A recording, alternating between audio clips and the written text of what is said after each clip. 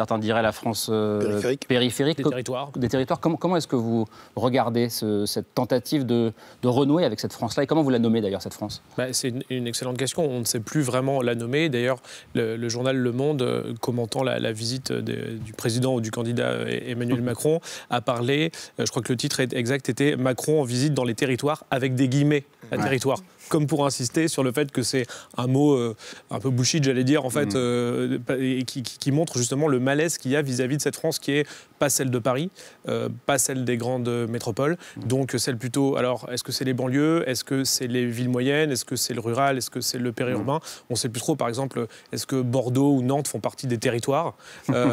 Avant, on disait les, régions, la province, et aujourd'hui, on ne sait plus trop comment la, nommer depuis le, le, succès des ouvrages, par exemple, de Christophe Guidouy qui parlait de France périphérique, qui insistait à la fois sur l'aspect géographique de la, périphérie, mais aussi l'aspect culturel, le mm. fait que les, ces territoires étaient quelque part marginalisés culturellement. Oui, le, rapport euh, même kilométrique entre ces villes-là et, Paris, comment vous les nommez, vous, euh, ces territoires pardon?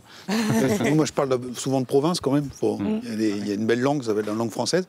Et puis là, c'est la, France des villes moyennes, la France des préfectures. Et des sous-préfectures. des sous-préfectures et euh, la, France des départements. Mm qui, euh, jusqu'à preuve du contraire, euh, abrite encore euh, une majorité de la, majorité de la population. Voilà. Donc c'est cette France, parfois aussi un peu de l'ombre. Hein. Jean-Laurent parlait d'une distance un peu culturelle où on regarde surtout ce qui se passe dans les grandes, dans les grandes métropoles.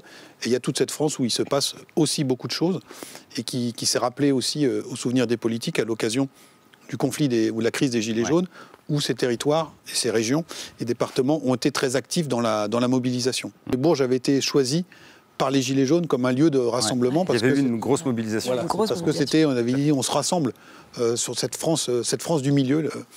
Et donc c'est aussi euh, ce, dont on parle dans le livre. On va, parler des services publics, mais c'est aussi une France où aujourd'hui la grande distribution et les services publics, l'hôpital, la mmh. mairie, la communauté d'agglo, sont souvent les premiers employeurs de, ces territoires. Sans cette expression de, ville anonyme et, ce qu'il y a derrière, euh, Jean-Laurent Cassé. Oui, parce que vous avez eu la gentillesse de citer le, livre que j'avais écrit avec Monique Dagneau euh, mm. sur les, le, monde des diplômés mm. urbains. Génération sur euh, diplômés. Dans, lequel on, montrait justement comment cette, catégorie de gens, on va dire un petit peu la Startup Nation pour caricaturer, est très urbaine, vit dans les métropoles. Ce qui veut dire, alors, c'est pas uniquement des gens qui sont forcément très riches, mais c'est des gens qui sont plutôt diplômés, culturellement avantagés et qui, qui, se sont regroupés dans les grandes villes. Et si vous voulez, il n'y a plus cette bourgeoisie de notables un peu locaux qu'on trouvait dans des villes moyennes de sous-préfecture, comme vous, comme vous l'avez dit. Euh, et, cette nouvelle bourgeoisie plus urbaine vit plus loin de ces territoires. Et du mmh. coup, peut-être qu'elle s'y intéresse moins, tout simplement parce qu'elle les connaît mal, sauf quand, comme vous l'avez dit, quand elle passe euh, au bord de, l'autoroute euh, devant Vierzon ou en train pour un, pour un changement. C'est l'enjeu, selon vous, Jérôme Fourquet, pour toutes celles et ceux qu'on vient de voir parler à ce qu'on appelle la France des Gilets jaunes, et à travers elle aux deux tiers de Français d'ailleurs qui soutenaient les Gilets jaunes au début du mouvement. Oui, bien sûr, c'est un des, enjeux de sortir de, sortir de ces grandes métropoles. Alors là où il y a une, complexité quand même, c'est que, voilà, à écouter tout le monde, il manque énormément de fonctionnaires. Il y en a quand même 5 millions en France. Euh, on a des dépenses publiques qui sont parmi les plus élevées euh, au monde, en rapporté à notre produit intérieur brut. Et donc là, on peut s'interroger sur. Euh, Jacqueline Moreau avait interpellé le président de la République à l'époque en disant où est passé l'argent? et donc on voit qu'aussi ces emplois publics se concentrent dans les, dans les échelons intermédiaires, dans les, dans les grandes métropoles. Dans et dans, certaines zones géographiques? Et alors dans certaines zones géographiques, parce qu'il ne faudra pas laisser penser aussi que toutes les villes moyennes sont dans des situations euh, hmm. aussi euh, compliquées que cela. C'est-à-dire que ce qu'on essaie de montrer dans le livre, c'est qu'il y a des zones euh, de la France périphérique où, du fait du tourisme, du fait du climat, hmm. on a une, une, attractivité démographique importante et une activité économique les économistes appellent ça l'économie présentielle, c'est-à-dire du mmh. fait même de la présence importante d'une population, vous avez des commerces, des services publics qui tournent. Regardez le, tout l'engouement qui, qui, se dessine aujourd'hui sur toutes les zones littorales de France. Mmh. Historiquement, c'était le sud, maintenant c'est toute la façade atlantique. On a plein de villes moyennes dans ces endroits-là qui sont dans des situations qui ne sont pas celles de Vierzon. On parle aussi beaucoup euh, de désertification médicale. Il y a la liberté d'installation des médecins euh, en France. Et donc quand vous faites la carte le nombre de médecins par 100 000 habitants, vous voyez que le sud de la France est très, euh, très bien loti et très bien pourvu. Et donc, une réalité qui peut être celle de, Vierzon. C'est de mettre Vierzon ailleurs sur la carte. et d'où les débats qu'il y a sur le fait d'imposer à des, à des jeunes médecins qui s'installent le fait d'aller euh, remplir une mission de service public dans certains territoires. Mmh. Parce que quand on a laissé les choses se faire, eh bien, il y a des, il y a des logiques comme ça de, concentration qui s'opèrent. Je voulais revenir aux Gilets jaunes, on a vu dans le, magnéto. C'est aussi le point de départ de ce livre, euh, les Gilets jaunes, et de, la, et de la réflexion autour de ce livre. Euh, en quoi est-ce que les Gilets jaunes sont justement le symbole de cette grande métamorphose euh, dont vous parlez dans ce livre, Jean-Laurent Casselli c'est vrai qu'avec Jérôme, quand on a commencé à travailler ensemble et à, à projeter l'idée d'un livre. Euh, c'était en plein pendant la crise des, mmh. Gilets jaunes en 2018-2019. Et je pense que, comme pas mal de gens, d'experts, de journalistes et tout, bah, voilà, on s'appelait pour, euh, à chaud aussi pour, pour comprendre l'événement. Et c'est vrai que, je ne sais pas si vous vous rappelez, mais à l'époque, personne ne comprenait ce qui était en train de se mmh. passer. Euh, et, on voyait émerger cette figure, vous en, vous en avez parlé dans le sujet, cette figure du rond-point. Mm. qui allait devenir centrale, euh, justement par son côté, son aspect périphérique. Mm. C'est-à-dire que la périphérie devenait le centre du pays. Euh, ce qu'on avait oublié, ce qu'on avait comme rejeté ou, mis, euh, mis, mis, de côté, devenait, devenait très central. Et, donc ce, mouvement, si vous voulez, par son déplacement à la fois géographique et également culturel, hein, on insiste dans le livre sur ces, profils de, gilets jaunes. les leaders médiatiques des gilets jaunes étaient des, chauffeurs-livreurs, des aides-soignants, des mm. caristes, des gens qui travaillent dans les entrepôts, dans la logistique. On voyait à travers eux cette mutation aussi des, catégories euh, populaires. On voyait donc euh, cet, étalement urbain, cette aussi périphérisation d'une partie de ces, catégories. On en a parlé au début. Donc oui, il y avait tout dans les Gilets jaunes. Et c'est pour mm. ça que ça a été un des points de départ de, notre livre. Et l'une des thèses de ce livre, il y a beaucoup, beaucoup de choses hein, dans ce livre, mais c'est qu'on assiste à une démoyennisation de la société.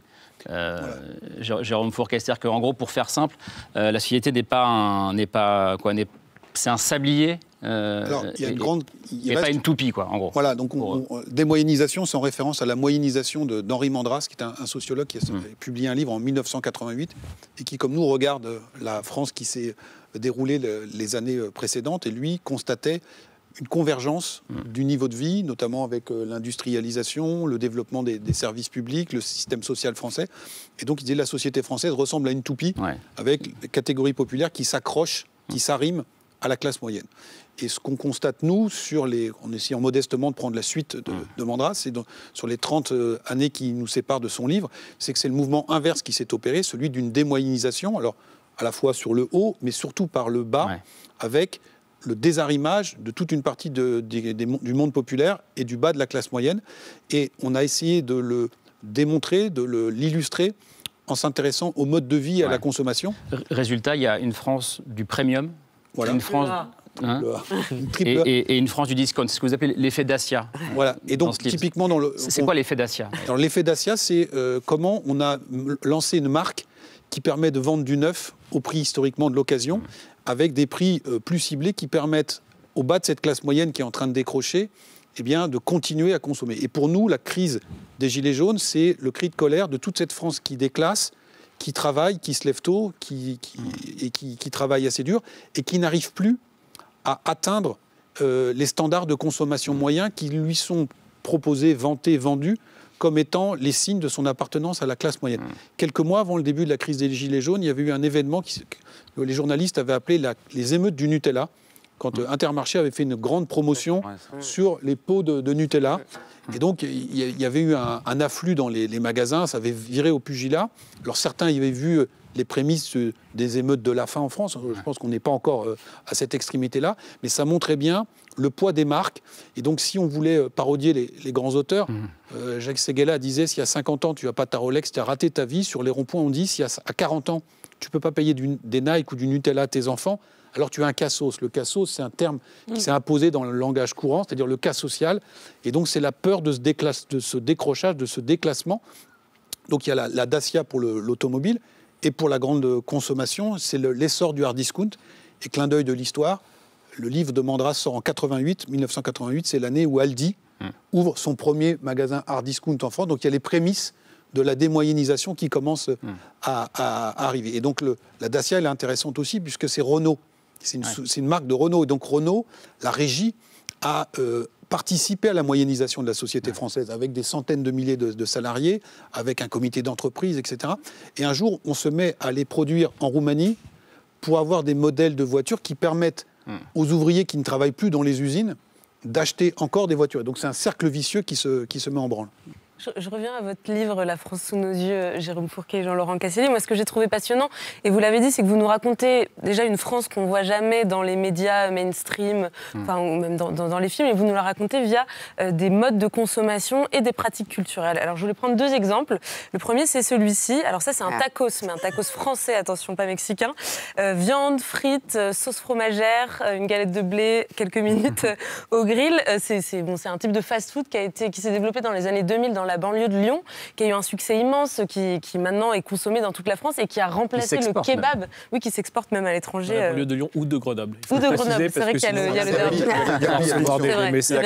Et qui a remplacé le kebab. Qui a remplacé le kebab exactement dans, dans, dans le cœur, en tout cas dans les, pour les papilles de, de la génération Z. C'est un peu. Euh, et voilà. Et le, tacos, vous racontez que c'est presque en train de devenir une spécialité culinaire française à part entière, que c'est légitimé de plus en plus.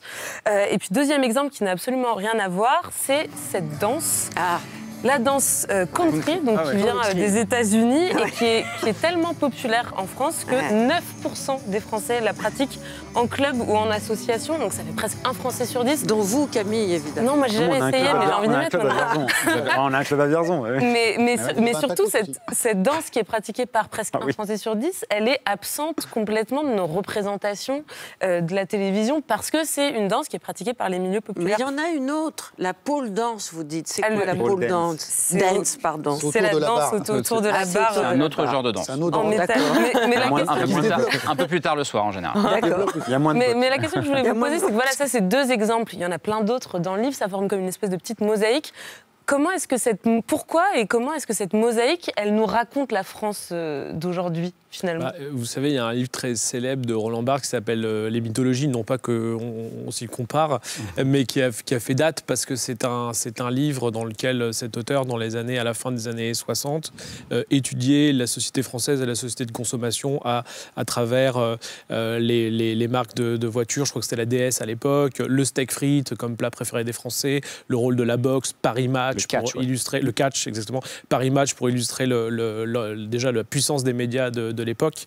Et, donc c'est vrai que cette idée d'avoir d'utiliser des petites mythologies du, quotidien hein, comme euh, ce sandwich euh, comme euh, telle marque de voiture comme la Dacia dont Jérôme a parlé on, trouve que c'est ça, fonctionne bien en fait parce que c'est des, images mentales en fait. Et les, Français enfin les lecteurs connectent tout de suite quand on dit club de country voilà on, imagine les, images c'est la, la, même chose pour la gastronomie. Et donc c'est des, des sujets aussi assez passionnel. Quoi. Mais est-ce qu'on peut, est qu'on peut vraiment raconter un peuple, les Français, parce qu'ils consomment Est-ce qu'il n'y a pas finalement quelque chose d'assez de très individualisant, voire dépolitisant dans, cette euh, nous, croyance aussi Nous, on conseille de lire aussi d'autres livres pour euh, compléter sa, connaissance de la société française.